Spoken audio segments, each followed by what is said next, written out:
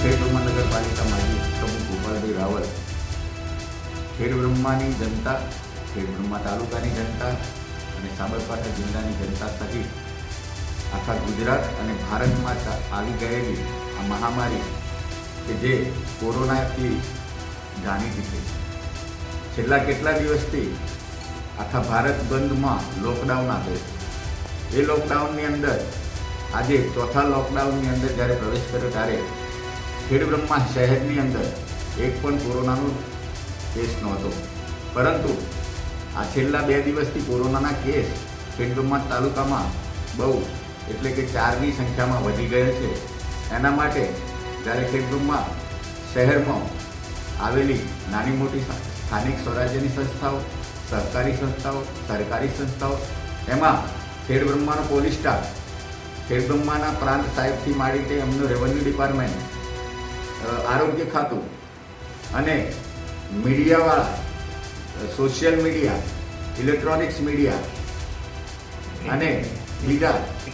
Print media કે જેમને ખેડબ્રહ્મામાં જેમ કે આપણા હિમાલયના પર્વતો હોય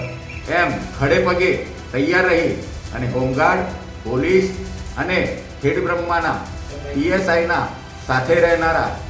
પોલીસ સ્ટાફ તથા સફાઈ કામદાર, ખેડબ્રહ્મા નગરપાલિકા અને બધાની સરાહનીય કામગીરી એકદમ પૂરજોશમાં ચાલી રહી એમાં પોઝિટિવ કેસ આવવાની સાથે ખેડબ્રહ્મામાં રહેનાર યુવક, યુવતીઓ જે કોઈ પણ આ વાતને સમજતા નહોતા ત્યારે અમને ખબર પડી કે કોરોના આવી મોટી મહામારી છે. જેનો સામનો કરવા માટે આજે ભારતમાં જ્યારે આપણા વડાપ્રધાન પ્રધાન નરેન્દ્રભાઈ મોદીએ લોકડાઉન આપ્યું, ત્યારથી આજ દિવસ સુધી જે આપણે એના સામે પ્રતિકાર કરી રહ્યા છે, કોરોના કોરોના આપણને કોઈની તાકાત નથી, કોરોના આપણને હરાવે કોરોનાને હરાવવાની તાકાત ભારતીયના, ભારતના ખૂનમાં છે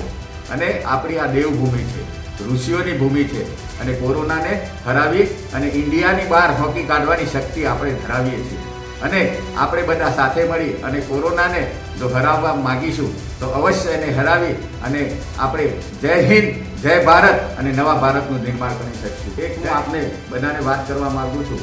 કે જ્યારે આપણા ભારત દેશના વડાપ્રધાન જ્યારે આપણને રિક્વેસ્ટ કરતા હોય ત્યારે આપણા ઘરના ઘરના સભ્યો આજુબાજુ રહેતા પડોશી પડોશીને શિખામણ આપી અને સોશિયલ ડિસ્ટન્સ જાળવવાની